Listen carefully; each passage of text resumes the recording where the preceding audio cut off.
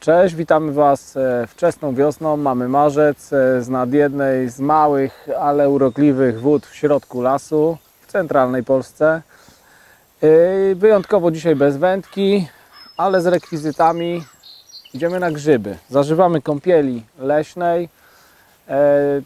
Trochę zainicjowani akcją Piotrka Bergera, który ostatnio piękne grzyby znalazł na początku tego przedwiośnia w lasach. Zresztą o te grzyby nie trudno, niestety. E, Postanowiłem też spróbować szczęścia i takie miałem przeczucie, że właściwie e, nie będzie to wyzwanie, że te grzyby są, pojawiają się i, no i trzeba coś z tym zrobić. E, Cytując Piotrka, widzimy tutaj piękny egzemplarz olszczymura puszkowego. Idzie do koszyka. Flejtuch butelkowiec, też często widziany. Nie wiem dlaczego, głównie nad brzegami naszych pięknych wód. Kolejny grzyb, jakich nie chcemy oglądać. E, w lasach, nad wodami. Wędruje do koszyka. Zachęcam wszystkich do przyłączenia się do akcji. Zabierajmy na spacery dzieci. E, uczmy ich tego, e, żeby dbać o nasze wspólne dobro, o przyrodę, o naturę. Zbierajmy te śmieci, jakąś torbę zawsze w kieszeń włóżmy, rękawiczkę, e, parę tych śmieci z lasu, jeżeli każdy z nas wyniesie, naprawdę będzie nam się żyło czyściej i przyjemniej. Zwracajmy uwagę tym, którzy nie potrafią odnaleźć się w tej rzeczywistości. Tych śmieci jest naprawdę masa, my wytwarzamy masę śmieci, ale jeżeli je wytwarzamy jeszcze to wszystko przenosimy tam, gdzie natura, jest to słabe. Także y, zaraz spróbuję swoich sił, woda jest naprawdę niewielka, obejdę ją, zobaczymy czy uda mi się zapełnić koszyk.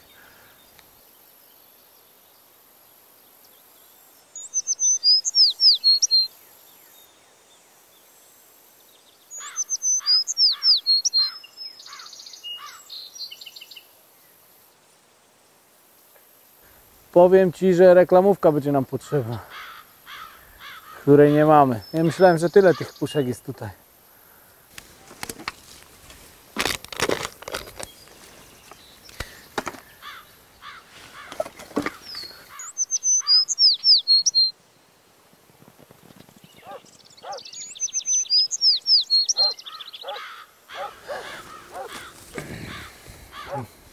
Flejtuch Budesporados. Tu mamy amatorów piwa z namysłowa, tak zwanych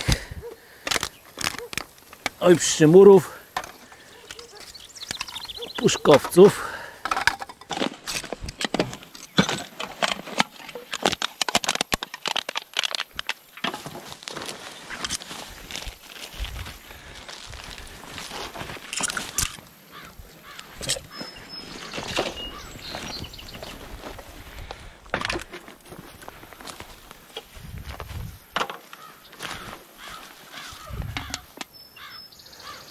Dosłownie 5 minut, jedna mała rundka, woda mała, także dużo czasu nam to nie zajęło. Natomiast myślałem, że przyjeżdżając tutaj, że taki koszyk to będzie świat na te grzyby.